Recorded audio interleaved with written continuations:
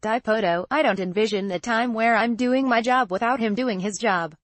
The baseball bromance between Mariners general manager Jerry Dipoto and manager Scott Servais is going to continue in Seattle for the next few years. On Friday, the organization announced that Dipoto, who was in the final year of a three-year contract, had signed a multi-year contract extension.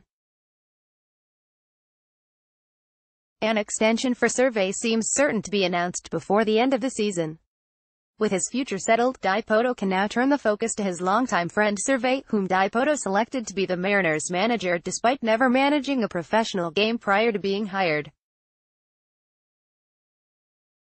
Like Dipoto, Servais is also in the final year of a three-year contract. Asked about getting a contract extension done with Servais, Dipoto made his plans clear. Without question, he said. Scott has been my partner for far longer than we've been here. Whether it be dreaming about what we wanted to create as a franchise, whether it be in player development and what we are doing in scouting, or now culminating with how to build a major league roster and how to guide it, I don't envision a time where I'm doing my job without him doing his job. I think so much of what we accomplished this year is because we have often or have always been on the same page. We have a slightly different angle that we come from. Dipoto heaped plenty of credit for the Mariners' success this season, a 56-32 record, on Servais and how he's handled the team. Part of the reason we are in the position we are in, in July of 2018, is because we've won a lot of close games. Dipoto said. You don't win close games unless your manager makes good decisions. We've got good personnel. We've got a talented roster that's very resilient. But you don't make those one-run games into one-run wins without the right guy pushing the buttons. And that guy is Scott Servais. Dipoto didn't put a timetable on when the extension will get done, but it seems likely before the end of the season. He didn't think the lack of an extension would affect Servais standing with the players.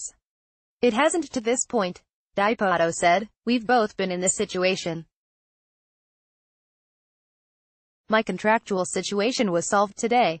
As I said, I don't envision doing this without Scott with me.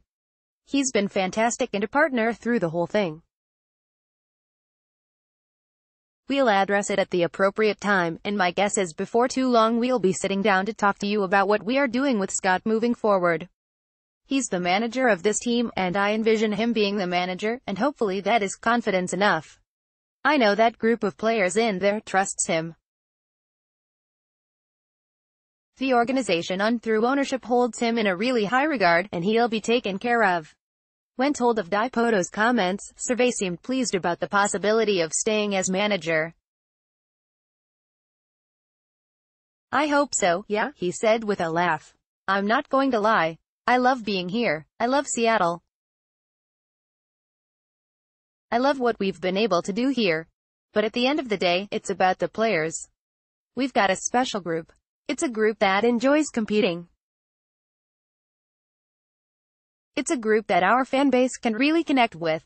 The enthusiasm and excitement here in the ballpark, you can feel it. It's somebody different every night and it's a fun place to be right now.